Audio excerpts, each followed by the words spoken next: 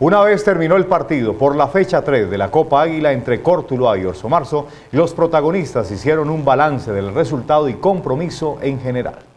Mayer Andrés Candelo asegura que el resultado maquilla el desarrollo del partido. No, la verdad fue un partido pues mentiroso porque las cosas que hizo el equipo fueron grandiosas, siempre hubo buen juego, siempre hubo opciones de gol, convertimos primero. Las desconcentraciones jugaron en contra para el grupo dirigido por el profesor Mayer Andrés Candelo.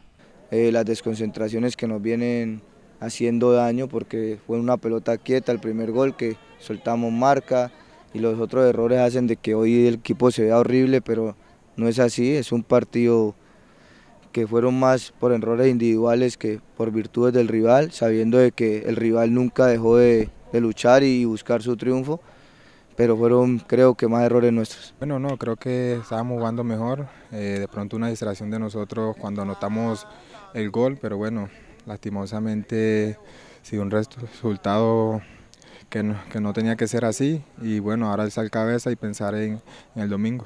Rivaldo Correa tiene sentimientos encontrados. Por una parte marcó su primer gol con Cortuluá, pero por otro lado triste por la derrota sufrida ante Orso Marzo. Primero que todo darle la gracia a Dios por este lindo gol, que desde hace mucho lo necesitaba para seguir tomándome confianza, pero bueno, lastimosamente no se dio el resultado que queríamos. El grupo asegura que la derrota no les afectará para jugar el domingo contra el Deportivo Pereira, el líder del torneo Águila.